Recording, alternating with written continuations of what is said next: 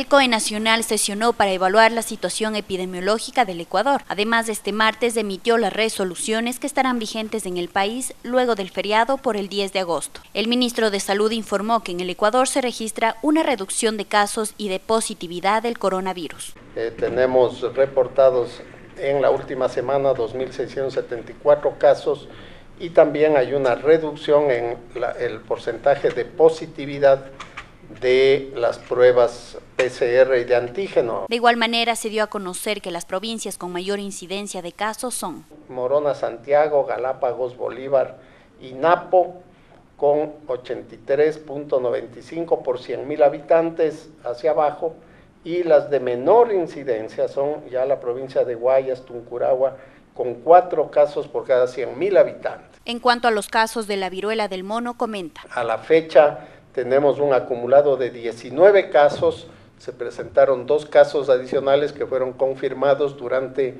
el feriado.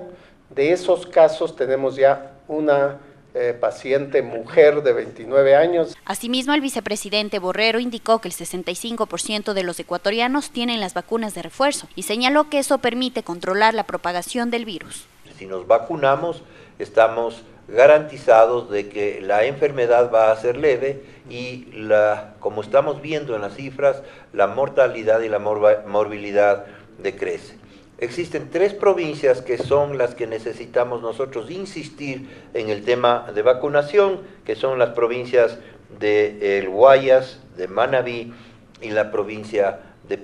Por su parte, Juan Zapata, presidente del COE Nacional, comentó que se mantiene el teletrabajo hasta el 30 de agosto como una medida preventiva después del feriado. Quiero darles a conocer a ustedes que en este momento se eh, siguen en teletrabajo 96.762 funcionarios públicos, de los cuales 51.333, es decir, el 53% son mujeres y 47% son hombres, es decir, 46.459. Con imágenes del COE Nacional para TVN Canal Solange Hidalgo.